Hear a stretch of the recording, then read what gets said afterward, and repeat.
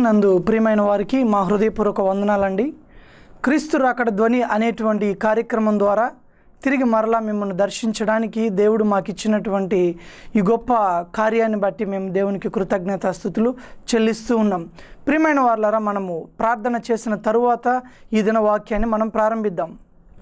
మహాగణుడు అయినటువంటి యేసు ప్రభా మీరు ఇచ్చిన పరిశుద్ధ సమయాన్ని బట్టి వందనాలు. ఈ దినమున ఏ వాక్య భాగమును ప్రకటించాలని మీ హస్తము నిర్ణయించిందో మీ సంకల్పము నిర్ణయించిందో దాని ప్రకారమే ఈ దినమున మీరు మమ్మల్ని నడిపించండి. వినుచున్నటువంటి ప్రతి ఒక్క సహోదరుణ్ణి సహోదరిని మీరు ముట్టండి. మీ స్వరము వినున్నట్లుగా వారి హృదయములు తెరువ చేయమని యేసునామంలో ప్రార్థిస్తూ ఉన్నాను తండ్రి. అమ్మేన్ దేవునామానికి ఘనత మహిమ ప్రభావాలు కలుగునుగాక. ప్రియమైన సహోదరులారా మరి వాక్యంను వినుచున్నటువంటి మీతో ఈ విధంగా మరొకసారి దేవుడు మాట్లాడే అవకాశం ఇచ్చినందుకు నేను దేవునికి కృతజ్ఞతాస్థుతులు తెలియజేస్తూ ఉన్నాను. గడిచిన కొన్ని రోజులుగా మనము దేవుని యొక్క రాజ్యమును గూర్చున్నటువంటి కొన్ని అంశాలను మాట్లాడుతూ వచ్చాం. అయితే ప్రభునందు నేను మీకు తెలియచేసేటువంటి మాట ఏమిటంటే మీరు కేవలము వినువారు మాత్రమయ్యుండి అలా ఉన్నట్లయితే మిమ్మల్ని మీరు మోసపుచ్చుకున్న వారే అవుతారని వాక్యం సెలవిస్తుంది. ఎందుకనగా యేసు క్రీస్తునందు విశ్వాసం ఉంచిన ఏ ఒక్కరు కూడా కేవలము వినటంతోనే సరిపెట్టకూడదని వారు తిరిగి ఆ వాక్యానుసారంగా ప్రకటించాల్సి ఉంటుందని వాక్యం స్పష్టంగా తెలియజేస్తుంది. మరి అనేక అంశాలను నీ జీవితంలో దేవుడు తెలియజేస్తూ ఉన్నాడు. మరి నీవు విన్న వాటిలో వాక్యానుసారంగా ఎంతవరకు జీవిస్తున్నావు అనే విషయాన్ని నేను కానీ మీరు కానీ ప్రశ్నించుకోవాల్సిన అవసరత ఉంది. కేవలము వినువారు మాత్రమే గనక అయి ఉంటే మనము నిజముగా మోసపోయే వాళ్ళం అవుతాం. ఎందుకంటే కేవలం వినడం వల్లనే పరలోక రాజ్యానికి వెళ్ళిపోతాము అని అనుకుంటే అంతకంటే మోసపూరితమైనది ఇంకొకటి లేదు. ఆ మాటకు వస్తే సాతాను కూడా వాక్యాన్ని బాగా వింటాడు. ఎందుకంటే నీకంటే ఎక్కువగా వాడికి వాక్యం లోతుగా తెలుసు. సో విన్నంత మాత్రాన దేవుని రాజ్యానికి వెళ్ళే అర్హతే కనుక ఉన్నట్లయితే సాతాను కూడా అర్హత ఉన్నట్లే. అయితే వాక్యం ఏం చెప్తుంది? ఎవరైతే వాక్యాన్ని విని దాని ప్రకారం నడుస్తారో వారికి మాత్రమే దేవుని కుమారులుగాను దేవుని అనుకూలుగా పేరుంటుంది. కనుక ఎవరైతే వాక్యాన్ని విని దాని ప్రకారం జీవించకుండా ఉంటారో నిశ్చయముగా వారిని మనము సాతాను సంబంధులని చెప్పవచ్చు. ఈ మాట వినడానికి కొంచెం కష్టంగా అనిపించవచ్చు కానీ లేఖనము ఎన్నడూ కూడా తప్పు కాదు. సాతానికి అన్నీ తెలుసు కానీ దేవుని వాక్యానికి వాడు లోబడడు. అదే రీతిగా దేవుడు నీతో మాట్లాడుతున్నాడు. అనేక విషయాల్లో నిన్ను గద్దిస్తున్నాడు. అనేక విషయాలు నీ జీవితంలో మార్చుకోమని కూడా సెలవిస్తున్నాడు. అయితే దానిని వినడానికి ఆసక్తి చూపినంతగా మార్చుకోవడానికి మనం ఆసక్తి చూపించడం లేదు. అందుకే దేవుడు స్పష్టంగా తెలియజేశాడు. మీరు కేవలము వినువారు మాత్రమే గనక అయి ఉంటే దేవుణ్ణి మీరు ఎన్నటికీ చూడలేరు. ఆ విని దాన్ని మీ జీవితంలో గనక ప్రకటించుకోగలిగితే మీ జీవితంలో గనక దానికి లోబడగలిగితే నిశ్చయముగా మనము దేవుని సన్నిధిని చేరగలము. ప్రియమైన వారలారా దేవుని నామానికి మహిమ ఘనత ప్రభావాలు కలుగునుగాక. ఈరోజు మీ ముందుకు నేను మరి ఒక కొత్త అంశాన్ని తీసుకురావాలని కోరుతూ ఉన్నాను. బహుశా ఈ వర్తమానాన్ని చాలాసార్లు అనేకులు ప్రకటించుతూ ఉండగా మనం వినే ఉంటాము. అయితే మరి ఒకసారి కూడా దానిలో నుంచి మరి ఒక విధానంలో దాన్ని మీకు తెలియజేయాలని కోరుతున్నాను. నేను మీ ముందుకు తీసుకొచ్చే అంశం ఏంటంటే సువార్త ప్రకటన. సువార్త ప్రకటన అనే ఈ అంశం మీద నేను రాబోయే రోజుల్లో ఒక మూడు లేదా నాలుగు భాగాలుగా దీనిని మాట్లాడాలని కోరుతూ ఉన్నాను. సువార్త ప్రకటన అంటే ఏమిటి? సువార్త ఎలాగు చేయాలి? ఇప్పుడు ఎలాగు సువార్త జరుగుతుంది? బైబిల్లో సువార్త ఎలాగు చెప్పమని చెప్తుంది? మనము సువార్త ప్రకటించవచ్చా? ప్రకటించకూడదా? సువార్త ప్రకటిస్తే శ్రమలు ఎందుకు వస్తున్నాయి? శ్రమలు వస్తేనే సువార్తనా? శ్రమలు లేకపోతే సువార్త కాదా? అనే అనేకమైన అంశాల మీద నేను మీ ముందుకి ఈ యొక్క అంశాన్ని మాట్లాడాలని కోరుతున్నాను. ఈరోజు మీ ముందుకు నేను తీసుకొచ్చే తొలి భాగంలో సువార్త ప్రకటన అనేది ఎందుకు చేయాలి? సువార్త ప్రకటన చేసేటువంటి పరిస్థితుల మీద లేఖనం ఏం చెప్తుంది? మనము దానిని ఎంతవరకు పాటించగలుగుతున్నాం? మీకు ముందుగానే నేను ఉపోద్ఘాతంలాగా చెప్పాను. వాక్యమును వింటే సరిపోదు. దాని ప్రకారము ప్రవర్తించువారున ఇండుడి అని వాక్యము చాలా స్పష్టంగా తెలియజేసింది. మరి అదే రీతిగా ఈరోజు మనం చెప్పుకోబోయే వర్తమానాన్ని విన్న తరువాత దాని ప్రకారము జీవించువారుగా ఉంటారో లేదా కేవలము విని నామమాత్రంగా వదిలేసేవారుగా ఉంటారు అనేది మీ చేతుల్లోనే ఉంది. దేవుడు మాత్రము తప్పక దానిని పరిగణలోకి తీసుకుంటాడు. మీ ముందుకు ఈరోజు నేను ఒక వర్తమానాన్ని తీసుకురాబోతున్నాను. మత్తైసు వార్త ఇరవై ఎనిమిదవ అధ్యాయము పంతొమ్మిదవ వచనంలో ఇక్కడ ప్రభువారు మాట్లాడుతున్న మాట పద్దెనిమిది నుంచి చదువుతున్నాను.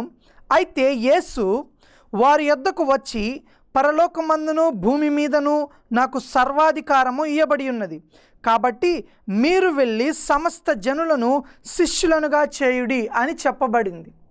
ఇక్కడ యేసుక్రీస్తు ప్రభువారు ఎప్పుడు ఈ మాట చెప్తున్నారు తెలుసా? ఆయన చనిపోయిన తరువాత సమాధి చేయబడి తిరిగి జీవంలోకి వచ్చి నలభై రోజులు సహోదరులతో కలుసుకొని ఆయన వారితో ఉండి చివరిగా పరలోకానికి వెళ్ళిపోయేటప్పుడు చెప్పినటువంటి మాటలు ఇవి. మరి బాగా గమనించండి సాధారణంగా ఎవరి చివరి మాటలు చాలా విలువైనవిగా ఉంటాయి. ఎవరికైనా కోర్టు ఒకవేళ ఉరిశిక్ష వేస్తే వాళ్ళని అడుగుతారు మీ చివరి కోరిక ఏమిటి? అని. అంతేకాదు ఎవరైనా చనిపోయే వాళ్ళు ఉంటే మన కుటుంబ సభ్యుల్లో వాళ్ళని అడుగుతారు చివరిగా ఏమైనా చెప్పాలనుకుంటున్నారా? అని అడిగితే వాళ్ళు చివరిగా వాళ్ళు చెప్పే ఆ మాట ఏంటో తెలుసా? వారి జీవితంలో కల్లా అత్యంత శ్రేష్టమైన మాట అది. వారు దానిని ఎంతగానో ఇష్టపడిన వాళ్ళు కాబట్టి ఆ మాట చెప్తారు. సో చివరి మాటలు అనేవి చాలా చాలా ప్రాముఖ్యమైనవి. అయితే మన ప్రభు చనిపోతూ చెప్పిన మాటలు కాదు కానీ ఆయన పరలోకానికి వెళ్ళిపోతూ శరీరధారిగా ఉన్న ఆ దేవుడు పరలోకానికి వెళ్ళిపోతూ శరీర సంబంధమైన ఈ శిష్యులతో అనగా శరీరంతో ఉన్న వాళ్ళకి చెప్పిన చాలా ప్రాముఖ్యమైన మాటలు. దేవుడు వేరే ఏమైనా చెప్పొచ్చు? ఇంకా ఇది చేయండి అది చేయండి అని చెప్పొచ్చు. కానీ ఇవేవి చెప్పకుండా ఆయన చెప్పిన ప్రాముఖ్యమైన మాట ఏమంటే మీరు సర్వలోకానికి వెళ్ళి సర్వ సృష్టికి సువార్తను ప్రకటించండి. సువార్త ప్రకటించడమే కాదు సమస్త జనులను శిష్యులనుగా చేయండి అని లేఖనంలో చెప్పబడింది. మరి సహోదరులారా దేవుని దృష్టిలో సువార్త అనేది ఎంత ప్రాముఖ్యమైనది కాకపోతే దేవుడు దానిని చివరి మాటగా చెప్తాడు. అది ఎంతో ప్రాముఖ్యమైనటువంటి మాట. సో దానిని మనము చాలా చాలా సీరియస్గా తీసుకోవాలి. బాధాకరమైన విషయం ఏంటంటే ఈనాడు ఉన్నటువంటి మన జనరేషన్లో చాలామంది క్రైస్తవులకి సువార్త ప్రకటించడం అనేది అంత ప్రాముఖ్యమైన విషయంగా కనబడడం లేదు. సువార్త ప్రకటన అనేది ఏదో ఒకరోజు చేయాలి చెయ్యాలి కాబట్టి చేస్తున్నారే కానీ అది దేవుడు చెప్పిన మాటలలో చివరి మాటలలో చాలా ప్రాముఖ్యమైన సంగతి అన్న విషయాన్ని అనేకులు గుర్తుంచుకోవడం లేదు. సో ఈరోజు మనము దాన్ని మనము తప్పక ఆ పరిస్థితిని ఎదిరించి వాక్యాన్ని నిర్భయంగాను ప్రకటించే స్థితికి మనం రావాలని నేను ఎంతో కోరుచూ ఉన్నాను. లేఖనంలో చూసినట్లయితే దేవుడు అంటున్నాడు సర్వలోకమునకు వెళ్ళి సర్వ సృష్టికి సువార్తను ప్రకటించండి అని చెప్పాడు. మరి నాదొక ప్రశ్న ఈ మాటని ఎవరికి చెప్తున్నారు దేవుడు? అక్కడ ఉన్నటువంటి వారికి ఈ మాట చెప్పాడు. అంటే వారికి మాత్రమే వర్తిస్తుందా? మీరు వెళ్ళి అంటే కేవలము అక్కడ ఒలివ కొండ మీద ఉన్న శిష్యులకు మాత్రమే వర్తిస్తుందా? మనకి వర్తించదా? లేఖనం ప్రకారం చూస్తే ఎవరైతే యేసు క్రీస్తునందు విశ్వాసం ఉంచారో ఎవరైతే ప్రభునందు రక్షణలోకి వచ్చారో వారిలో ప్రతి ఒక్కరు కూడా సువార్త ప్రకటించవలసిన వారై ఉన్నారు. ఆ మాటకొస్తే శిష్యులు పన్నెండు మంది ఉన్నటువంటి ఆ ఒలివల కొండ మీద సమయంలో అప్పుడు పౌలు లేడు. మరి వాళ్ళ మాట పౌలుకు వర్తించకుండా ఉంటుందా?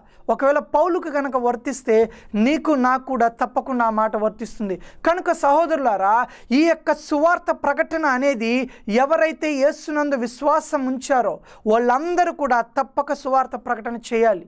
చాలామందిని నేను గమనిస్తుంటాను.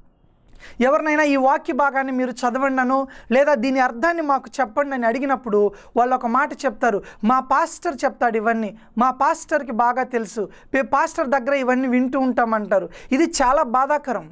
కేవలము పాస్టర్లే సువార్త చెప్పాలని ఎక్కడ బైబిల్లో చెప్పలేదు.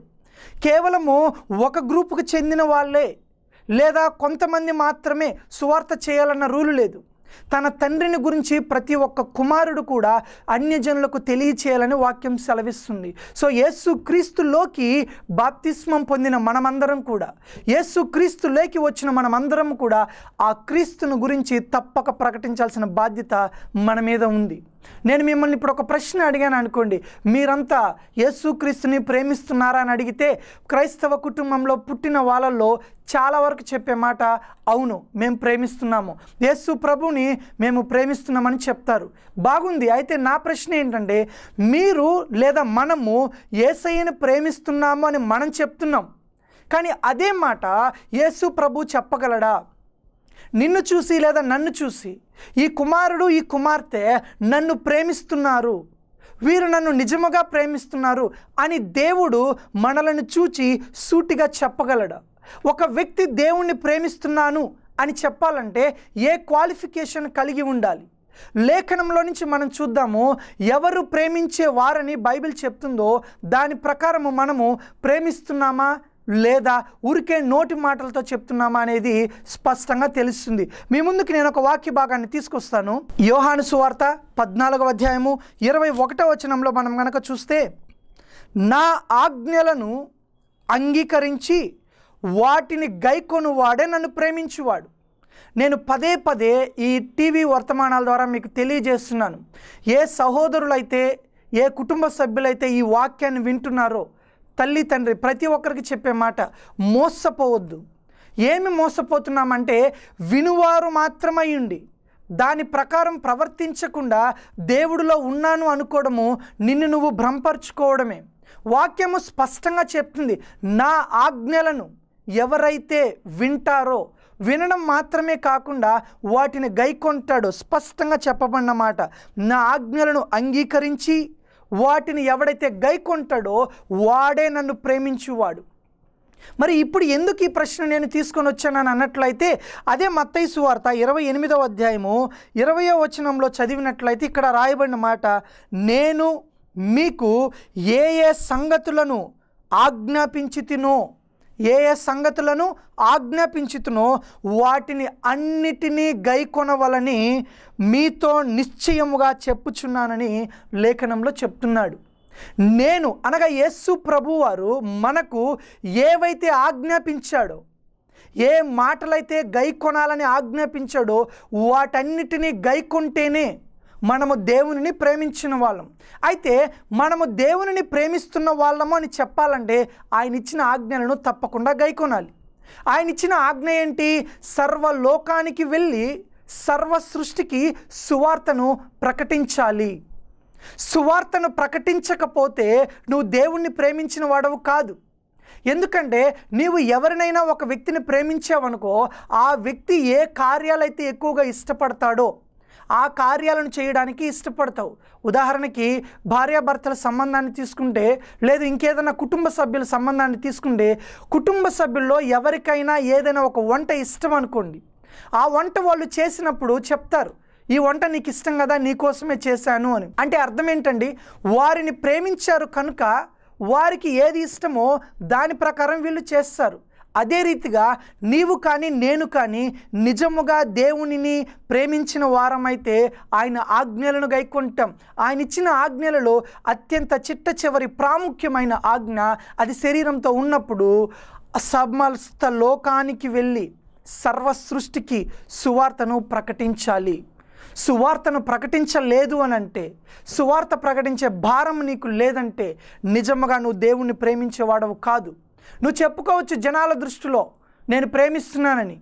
సువార్త ప్రకటించకపోతే దేవుడు నిన్ను ఎంత మాత్రం కూడా ఆయన్ని ప్రేమించిన వాడుగా చెప్పలేడు. బైబిల్ మారదు. ఆజ్ఞని దేవుడిచ్చాడు దాన్ని గైకొనాలి. మరి నేను ఇంకొక మాట కూడా అంటున్నాను. సువార్త ప్రకటించకపోతే పాపము చేసినట్లే. ఏంటి బ్రదర్ ఈ మాట ఇలా అంటున్నారు? సువార్త ప్రకటించకపోతే పాపం చేసినట్లేనా? మీరు ఎలా చెప్తారు? బైబిల్లో ఎక్కడైనా ఆ విధంగా రాయబడి ఉందా అంటే నేను మీకు ఒక మాట చూపిస్తాను. మొదటి యోహాను రాసినటువంటి పత్రిక మూడవ అధ్యాయము నాలుగవ వచనం. అక్కడ ఏమని రాయబడి ఉంది? ఆజ్ఞను అతిక్రమించే ప్రతి వాడు కూడా పాపము చేసినట్లే. ఆజ్ఞను అతిక్రమించే ప్రతి వాడు పాపం చేసినట్లే. మీకు మత్తయి ఇరవై ఎనిమిది ఇరవైలో నేను ఏం చెప్పాను ఇక్కడ? ఎవరైతే దేవుడిచ్చిన ఆజ్ఞ అంటే సర్వలోకానికి వెళ్ళి సర్వ సృష్టికి సువార్తను ప్రకటించమని చెప్పాడు. అది ఒక ఆజ్ఞ. అది దేవుడిచ్చినటువంటి ఒక చాయిస్ కాదు. దేవుడిచ్చినటువంటి లేదంటే ఒక ఒక ఒక నీకు నచ్చితే చెప్పు నచ్చకపోతే వదిలేయి అనేటువంటి చాయిస్ కాదు అది అది ఒక ఆజ్ఞ. దేవుని యొద్ద నుంచి ఏ ఆజ్ఞ వచ్చినా నేను కానీ మీరు కానీ ఎవరైతే యేసు యొక్క విశ్వాసానికి లోబడ్డారో వాళ్ళందరూ ఖచ్చితంగా ఆజ్ఞకు లోబడాల్సిందే. అయితే ఈ లేఖనం ప్రకారము ఏ ఒక్క ఆజ్ఞను కూడా నువ్వు అతిక్రమించినా అది ఎలా చేయబడుతుంది? పాపంగా ఎంచబడుతుంది. అంటే సువార్త చెప్పకపోవడం పాపమా? అని అనుకుంటే మనం కొంచెం వెనక్కి వెళ్ళామనుకోండి ఆది కాండంలో. పండు తినడం పాపమా అంటే కేవలం పండు తినడం మాత్రమే చూస్తే పాపం కాదు. పండు తినడం వెనక ఒక ఆజ్ఞ ఉంది. ఏమిటి ఆజ్ఞ? నీవు పండు తిన దినమున నిశ్చయముగా చస్తావు. అంటే పండు తినకూడదు అనేటువంటి ఒక ఆజ్ఞని దేవుడిచ్చాడు. అంటే దేవుడి యొక్క మాటను ధిక్కరించడం వలన నీ మాటను ఎదురు తిరిగి కూడా నేను బ్రతకగలను అని దేవునికి ఇండైరెక్ట్గా చెప్పినట్టు లెక్క. అంటే ఇక్కడ దేవుని మాటను అతిక్రమించినందు వలన ఏదైనా సరే అది పాపంగా ఎంచబడుతుంది. సువార్త ప్రకటన చేయమని దేవుడు ఆజ్ఞ ఇచ్చినప్పుడు ఆనాడు ఆదాము ఎలా అయితే తినవద్దన్న పండు తిని పాపం చేశాడో ఈరోజు సువార్త చెప్పమని చెప్పినప్పుడు చెప్పకుండా మనము పాపం చేస్తున్నాం సహోదరులారా. దీనిని మీరు పరిగణలోకి తీసుకోవాలని ఇది చాలా చాలా ప్రాముఖ్యమైన ఆజ్ఞగా ద గ్రేట్ కమిషన్ అంటారు దీన్ని. ఆ విధంగా మీరు దీన్ని మీ మనసులో గుర్తుంచుకోవాలని నేను ఎంతగానో కోరుతూ ఉన్నాను. మరి అదే విధంగా మనం చూసినట్లయితే ఈ యొక్క సువార్త ప్రకటన విషయంలో మనకి అంతగా భారం లేకపోవచ్చు. మనకి అంత పెద్ద ఇబ్బందిగా అనిపించకపోవచ్చు. సువార్త ప్రకటించాలన్న తపన మనకు లేదు కానీ కానీ లేఖనంలో ఒక్కసారి చూస్తే మీకు తెలియజేస్తాను. మొదటి కొరిందీలకు రాసినటువంటి పత్రిక తొమ్మిదవ అధ్యాయము పదహారవ వచనంలో ఇలా మాట్లాడుతుంది ఆ వాక్యం. పౌలు ఇలా అంటున్నాడు నేను సువార్త ప్రకటించుచున్నను నాకు అతిశయ కారణము లేదు. సువార్తను ప్రకటింపవలసిన భారము నా మీద మోపబడి ఉన్నది. అయ్యో సువార్తను ప్రకటించకపోయిన ఎడల నాకు శ్రమ. సువార్తను ప్రకటించవలసిన భారము నా మీద మోపబడి ఉంది అంటున్నాడు పౌలు.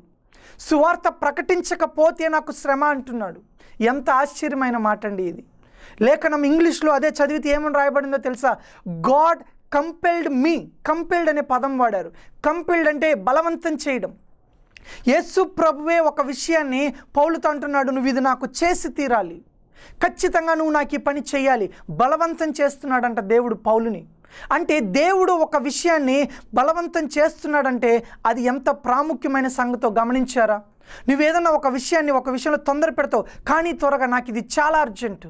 నువ్వు నాకు ఈ పని త్వరగా చేయాలంటే అది నీకు చాలా ప్రాముఖ్యమైందని అర్థం. మరి ఇక్కడ ప్రభు అంటున్నాడు కంపెల్డ్ బై అని రాయబడింది. పౌలుని దేవుడు అంతగా బలవంతం చేశాడు సువార్త చెప్పమని. అందుకు పౌలు ప్రత్యేకంగా ఏమంటున్నాడు తెలుసా? సువార్త ప్రకటించుట వలన నేను ఎంతగానో దాని కొరకు ఎదురు చూస్తున్నాను. ప్రకటించకపోతే నాకు శ్రమ. ఎంత ఆశ్చర్యకరమైన మాట అండి ఈరోజు మనము ప్రకటించాలంటే శ్రమ. సువార్త ప్రకటించాలంటే మనకు శ్రమ అనిపిస్తుంది. కానీ పౌలుకి ప్రకటించకపోతే శ్రమ అని చెప్పబడింది. మరి ఈ రెండు వాక్యాలను మనం ముందు పెట్టుకొని చూస్తే మనము పౌలుని నమ్మిన దేవుణ్ణి నమ్మితే పౌలు ఎలా చెప్పాడో మనము అలా చెప్పాలి. సువార్త ప్రకటించకపోతే నాకు శ్రమ అని చెప్పాలి. కానీ మనం అలా చెప్పలేదంటే పౌలు వెళ్ళిన మార్గానికి మనము వ్యతిరేక మార్గంలో వెళుతున్నామేమో గుర్తుంచుకోవాలి. పౌలు నిజముగా దేవుణ్ణి ప్రేమించాడు కాబట్టి ఆయన చేతల్లో దాన్ని చూపించాడు సువార్త ప్రకటించాడు. కానీ మనం అలా చేయలేకపోతున్నాము. మనకి అయ్యో సువార్త ప్రకటించకపోతే నాకు శ్రమ అన్నంత భారమైన హృదయాలు అయితే ఈ రోజులో మనం పట్టుకోవడం చాలా కష్టం. సువార్త ప్రకటన అంటే నాదొక భారం. సువార్త చెప్పాలంటే భారం. నలుగురిలో యేసు ప్రభు గురించి మాట్లాడాలంటే సిగ్గు. పౌలు అంటాడు సువార్తను గురించి నేను సిగ్గుపడేవాడిని కాదు. నా దేవుని కొరకు నేను ఎంతగానైనా సిగ్గుని తెగించడానికి సిద్ధంగా ఉన్నానంటాడు పౌలు. కనుక సహోదరులారా యేసు ప్రభువును గురించి నలుగురు ఎదుట చెప్పడానికి మనము సిగ్గుపడితే నలుగురు ఎదుట ఏసయ్య రక్షకుడని చెప్పడానికి సిగ్గుపడితే రేపు పరలోకం నుంచి దేవుడు వచ్చినప్పుడు నిన్ను కూడా దేవుడు సిగ్గుపడేలా చేస్తాడు. నువ్వెవరో నాకు తెలియదు అంటాడు ప్రభువా నేను నీకు తెలియదా అంటే నువ్వు నాకెన్నడూ తెలియదని వాక్యం దేవుడు చెప్పినప్పుడు మన పరిస్థితి ఏమైపోతుంది సహోదరులారా? సో వాక్యాన్ని నమ్మిన ఎవరైనా సరే తప్పకుండా వారి వ్యక్తిగత జీవితాలలో దేవుని యొక్క సువార్తను ప్రకటించి తీరాలి. సువార్త ప్రకటించకపోతే మనము నాశనము చేసే వాళ్ళకి జతకారము. అలానే ఇంకొక వాక్యాన్ని బాబు చూపిస్తాను మీకు. యేసు ప్రభు వారి యొక్క వాక్యాన్ని కూడా మీకు తెలియజేస్తాను. ఆయన మాటల్లో మార్కు సువార్త ఒకటవ అధ్యాయము ముప్పై ఎనిమిదవ వచనంలో ఆయన ఇతర సమీప గ్రామములలోనూ నేను ప్రకటించినట్లు వెళ్ళుదము రండి. ఇందు నిమిత్తమే కదా నేను బయలుదేరి వచ్చితునని వారితో చెప్పాను. యేసు ప్రభు వారు అంటున్నారు నేను ఇతర సమీప గ్రామములలో ప్రకటించున్నట్లు మనము బయలుదేరి వెళ్ళుదాము రండి. అందు నిమిత్తమే నేను వచ్చానంటున్నాడు చూడండి యేసుక్రీస్తు ప్రభువారు ఈ లోకానికి రావడం ప్రాముఖ్యమైన ఉద్దేశం ఏంటంటే సువార్త అనే ఒక ప్రకటన చేసి అనేకులను దేవుని వైపు తిప్పాలి అని. సువార్త లేకపోతే జనులు నశించిపోతారు. మీకు ఒక ఎగ్జాంపుల్ నేను చెప్తాను. సువార్త ప్రకటన ద్వారా అనేకులలో రక్షణ కార్యం అనేది జరుగుతుంది. నువ్వు సువార్త ప్రకటన చేయకపోతే ఆ రక్షణ కార్యం జరగదు. కొంతమంది అయితే నీ ద్వారా దేవుడు అనేకులను రక్షించాలని ప్లాన్ వేశాడో. ఆ పనిని నువ్వు గనక చేరుకోకపోతే నిశ్చయముగా మనము మనుషులను హత్య చేసిన వారమే అవుతాం. నేనేం హత్య చేశాను అనొచ్చు నువ్వు. అయితే నీ ప్రకటన చేయనందువల్ల నీవు దేవుని సువార్తను ప్రకటించినందువల్ల చుట్టుప్రక్కల ఆత్మలు నశించిపోయే వారి ఆత్మలకి కారకులు ఎవరు? నీవు నేనే కారణమవుతాం. కనుక సహోదరులారా మాటలు చెప్పుకొని మనలను మనము సంతృప్తి పరుచుకుంటే సరిపోదు. నాకు పరిస్థితి కుదరలేదు లేదా నాకు అంత ఖాళీ సమయం లేదు లేదా నాకు అంత తెలియదు ఈ మాటలేవి దేవుడు వచ్చినప్పుడు చెల్లవు. నీవు ఏసునందు విశ్వాసం ఉంచావా? వేరే దారి లేదు. తప్పక సువార్తను ప్రకటించి తీరాల్సిందే. అందుకే ప్రభు అంటున్నారు ఇందు నిమిత్తమే నేను దిగి వచ్చాను. సువార్త ప్రకటన చేసి అనేకులను రక్షణలోనికి నడిపించడానికి వచ్చాను. సువార్త ప్రకటన అనేది ఒక ప్రధాన ఆయుధం. సాతాన్ని నుంచి అనేకులను తప్పించాలంటే సువార్త ఒక ఆయుధం. కనుక సహోదరులారా సువార్త ప్రకటన అనే అంశాన్ని మీలో ఎవ్వరు కూడా నిర్లక్ష్యం చేయకూడదని ప్రభునందు నేను మీకు తెలియజేస్తూ ఉన్నాను. అందుకోసమే యేసు ప్రభు వచ్చాడు. యేసు ప్రభు ఒక పని కోసం వచ్చాడు అని అంటే అది ఎంత ప్రాముఖ్యమైందో మీకు అర్థమవుతుందా? పౌలు అంటాడు సువార్తను గురించిన శ్రమల విషయంలో లేదా సువార్త ప్రకటించడం కోసము నా ప్రాణమును సైతం పనంగా పెడతాను సమస్తమును పెంటగా ఎంచుతానన్నాడు పౌలు. అంటే దేవుని వాక్య ప్రకటన కోసము దేవుని కోసము పౌలు ఇంకా దేన్ని కూడా లెక్క చేయలేదు. అంటే తన ప్రాణము కంటే విలువైనదిగా దేవుని యొక్క సువార్తను ఎంచాడు పౌలు. మరి ఈరోజు మనం అలా ఎంచగలుగుతున్నామా? సువార్తకి మనం ఎన్నో రీప్లేస్ చేసేసాం కదా. మన ఆస్తులు అంతస్తులు మనకి సువార్త కంటే గొప్పవి. మన కుటుంబము మన యొక్క ఆశలు ఆశయాలు సువార్త కంటేను దేవుని వాక్య ప్రకటన కంటేను గొప్పవి. మన యొక్క ఆసక్తులు మన యొక్క ఇష్ట ఇష్టాలు మన సుఖాలు ఇవే మనకి చాలా ప్రాముఖ్యమైనవి. మనం వీటిని త్యజించి పెంటతో సమానంగా ఎంచి సువార్త చెప్పేంత ఆశ మనలో లేకుండా పోవడం చాలా బాధాకరం సహోదరులారు. కనుక దేవుడు ఈ పని కోసమే దిగి వచ్చాడు. భూమి ఆకాశాలను సృష్టించిన సృష్టికర్త వచ్చిన ఈ పని ఎంత ప్రాముఖ్యమైంది? మరి ఆయనకి ఆ వాక్యం అంత ప్రాముఖ్యమైందంటే మరి అల్పాయుష్కాలం గల మనకి సువార్త ప్రకటన ఇంకెంత ప్రాముఖ్యంగా ఉండాలి సహోదరులారా? దీనిని మీరు గుర్తుంచుకోవాలని నేను ప్రభునందు తెలియజేస్తూ ఉన్నాను. చూసినట్లయితే సహోదరులారా ఈ విధంగా సువార్త ప్రకటనని దేవుడు చాలా ఘనంగా ఇచ్చాడు ఒకవేళ సువార్త ప్రకటన నీవు గనక చేయకపోతే అంటే దేవుడు నీకు ఇచ్చినటువంటి ఈ తలాంతును. నీకు దేవుడు ఈ వాక్యాన్ని ఇచ్చాడు. విశ్వాసం ఉంచే జ్ఞానాన్ని ఇచ్చాడు. ఇవన్నీ నీకు తెలియచేశాడు కదా? అయితే నీవు సువార్త ప్రకటించడం లేదు. సువార్త ప్రకటించని వారిని గురించి అనగా దేవుని యొక్క కార్యాల కోసము దేవుని కొరకు పని చేయని వారిని గురించి దేవుని కొరకు శ్రమ పడని వారిని గురించి వాక్యం ఏం చెప్తుందో నేను తెలియజేస్తాను. మత్తైసు వార్త ఇరవై ఐదవ అధ్యాయం అంతా మీరు మొదటి నుంచి చదవండి. అక్కడ తలాంతులు ఇవ్వబడిన వారిని గురించి రాయబడి ఉంది. అంటే ఒకనికి పది తలాంతులు ఐదు తలాంతులు ఒక తలాంతులు ఇచ్చినట్లుగా చెప్పబడింది. అందులో ఒక తలాంతి ఇచ్చిన వాడు ఏం చేశాడంటే ఆ యొక్క తలాంతి తీసుకుని వెళ్ళి భూమిని తవ్వి భూమిలో వాడు పాతిపెట్టి అలానే ఉంచినట్లుగా రాయబడి ఉంది. అయితే దేవుడు తిరిగి వచ్చినప్పుడు వాడు తెచ్చి ఆ ఒక్కటే ఇచ్చి ఇలా అంటున్నాడు అయ్యా నువ్వు కఠినుడివి నేనేం చేయలేదు నీది నువ్వు తీసుకో అన్నాడు. అప్పుడు వానితో దేవుడు చెప్పిన మాట ఏంటో నేను మీకు చదివి వినిపిస్తాను గుర్తుంచుకోండి. అందుకు అతని యజమానుడు అతన్ని చూచి ఏమంటున్నాడు సోమరివైన చెడ్డదాసుడా ఏమంటున్నాడండి? సోమరి. ఆయన చెడ్డదాసుడా నేను విత్తని చోట కోయని వాడవని నువ్వు అనుకుంటున్నావా? అయితే నువ్వు సొమ్ముని సావుకారుల యొద్ద ఉంచాల్సిందని దేవుడు వాడిని అంటున్నాడు. చివరికి అతని పరిస్థితి ఏంటో తెలుసా? అతన్ని వెలుపటి చీకటిలోనికి మనం తోసివేసినట్టుగా చూడవచ్చు. కనుక సహోదరులారా సోమరివైన చెడ్డ దాసుడని దేవుని చేత అనిపించుకోకూడదు. చెడ్డవాళ్ళు ఎవరు దేవుని రాజ్యంలోకి వెళ్ళరు? మీకు తెలుసు కదా ఆ విషయం. చెడ్డవాళ్ళు ఎవరు పరలోక రాజ్యంలో ప్రవేశించరు. సోమరిపోతులు ఎవరు దేవుడి రాజ్యంలోకి రారు? సోమరితనం అనేది దేవుని లక్షణం కాదు. ఎవరైతే సువార్త ప్రకటన చేయడానికి నిర్లక్ష్యం వహిస్తున్నారో సువార్త ప్రకటన చేయడానికి ఎవరైతే భయపడుతున్నారో దేవుని మాటలను గూర్చి ఎవరైతే సిగ్గుపడుతున్నారో వాళ్ళని గురించి దేవుడు కూడా ఒకరోజు తప్పక సిగ్గుపడతాడు. కనుక ప్రియమైన వారులారా మీ ముందుకు నేను తెలియజేస్తున్నటువంటి మాట తప్పక సువార్తను ప్రకటించాలి. మరి సువార్తను ఎలా ప్రకటించాలి? సువార్త ప్రకటించడం అంటే ఏంటి? సువార్తని దేనిని అంటారు దాన్ని ఎలాగో మనము జనాల్లోకి తీసుకుని వెళ్ళాలి అనే ఈ అనేక అంశాల మీద రాబోయే రోజుల్లో నేను మీతో మాట్లాడాలని ఇష్టపడుతూ ఉన్నాను. కనుక సహోదరులారా ఈ రోజు గనక దేవుడు మీతో మాట్లాడాడని విశ్వసిస్తే నేను మరలా తెలియజేస్తున్నాను. ప్రియమైన సహోదరుడా సహోదరి ఎక్కడైతే నువ్వు ఈ వాక్యాన్ని వింటున్నావో ఇంట్లో వింటున్నావో లేదా బయట వింటున్నావో నాకు తెలియదు కానీ దేవుడు నీతో అంటున్నాడు మోసపోవద్దు. కేవలము వాక్యం విని దాని ప్రకారం ఉన్నానని అనుకోవద్దు. నేను క్రై క్రైస్తవ కుటుంబంలో పుట్టాను కాబట్టి పరలోకానికి వెళ్ళిపోతానని అనుకోవద్దు. చాలామంది నేను చూస్తూ ఉంటాను. వాళ్ళు అంటుంటారు మేము పుట్టుకతో క్రైస్తవులు మండి అని. దయచేసి ఎప్పుడు ఆ పదం ఎక్కడ చెప్పకండి సహోదరులారా. ఎవరైనా అలా చెప్పినట్లయితే దయచేసి సిగ్గుపడండి. ఎందుకంటే క్రీస్తును గురించిన కనీస అవగాహన లేనివాడే అలా మాట్లాడతాడు. ఎప్పుడు ఎక్కడైనా బైబిల్లో పుట్టు క్రైస్తవులని రాయబడి ఉందా? పుట్టుకతో ఎవడు క్రైస్తవుడు కాలేడు. క్రీస్తుని అంగీకరించిన తరువాతే క్రైస్తవుడు అవుతాడు. ఈ కనీస జ్ఞానం తెలియకుండా వాళ్ళు అంటారు ఏమని తెలుసా? మా తాత పాస్టరు. లేదంటే మా కుటుంబంలో అందరూ పాస్టర్లు. మా యొక్క పెద్దవాళ్ళందరిని ఎన్నో తరాల నుంచి మేము క్రైస్తవులు అంటారు. నిజంగా నువ్వు క్రీస్తుని ఎరిగి ఉంటే ఆ మాట చెప్పుకోవచ్చు. అది ఇంకా ఎంతో వాల్యుబుల్గా ఉంటుంది. ఎందుకంటే ఆ జనరేషన్ని నువ్వు కంటిన్యూ చేస్తూ వచ్చావు. క్రీస్తుని ఏమీ ఎరగకుండా క్రీస్తును ప్రేమించకుండా క్రీస్తు యొక్క ఆజ్ఞలకు లోబడకుండా క్రీస్తుని గురించి ఏమాత్రము నీకు తెలియకుండా ఆయన వాక్యాన్ని చదవకుండా ప్రార్థించకుండా సహవాసం చేయకుండా పుట్టు క్రైస్తవుని ఎన్నడూ చెప్పకు. అది దేవుణ్ణి అవమానించినట్లే అవుతుంది. కనుక సహోదరులారా క్రైస్తవులు అనబడిన ప్రతి ఒక్కరు సువార్త ప్రకటన చేయాలి వారి వ్యక్తిగత జీవితంలోనూ వారి యొక్క ఉన్న స్థలాలలో ప్రభువును గూర్చి ప్రకటించాలి. సో ఈ వర్తమానం ద్వారా దేవుడు మీతో మాట్లాడాలని విశ్వసిస్తూ ఉన్నాను. మరి ఈ వర్తమానాలు ఎవరైతే వింటున్నారో వారికి మాది ఒక మనవి చేయాలనుకుంటున్నాము. మేము క్రొత్తగా యూట్యూబ్ ఛానల్ ఒకటి స్టార్ట్ చేశాము.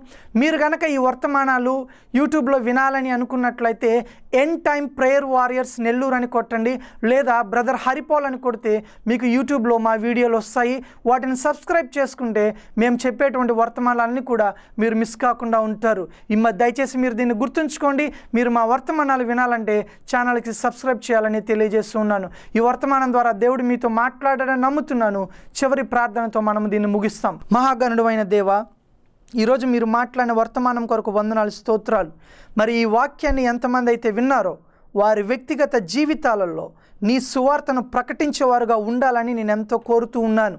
మరి సువార్త విషయంలో ఎవరైతే నిర్లక్ష్యం చేశారో మమ్మల్ని క్షమించమని అడుగుతున్నాను.